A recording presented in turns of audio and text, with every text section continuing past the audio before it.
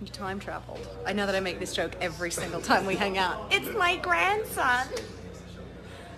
In 1977. Do you want some tang?